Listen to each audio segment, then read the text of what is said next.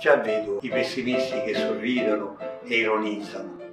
Crede nei miracoli? Sì, credo nei miracoli, perché no? Sono venuto per quel miracolo. Ma io non so fare i miracoli. Proprio perché non lo svegliamo. Il miracolo è aprire.